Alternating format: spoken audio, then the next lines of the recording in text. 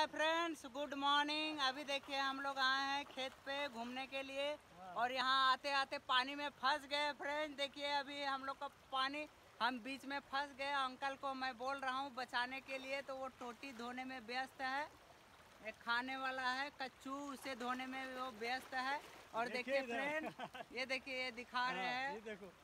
देखिए फ्रेंड्स ये दिखा रहे हैं और हमारा देखिए फ्रेंड्स पूरा ठेवना तक पानी जा रहा है और इधर आप देख सकते हैं कितना ज़्यादा पानी जा रहा है फ्रेंड्स। आप देखिए बहुत ज़्यादा पानी जा रहा है नदी में फिर भी हम लोग नदी को ऐसे करके यू पार हो जाते हैं।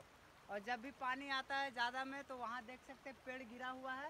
उधर से आते हैं और उधर पेड़ को पार करके जाते हैं फ्रेंड्स। अभी वहाँ पे जाइएगा तो वहाँ लम कम से कम दस फीट तक का गड्ढा है फ्रेंड्स। अगर कभी भी अगर गलती से वहाँ से हम लोग अगर गिर जाए तो समझिए कि पार नदी के ऊपर क्या अंकल है ना? हाँ। हाँ। चलिए जय हिंद जय भारत। बने रहिए हमारे वीडियो के अंत तक।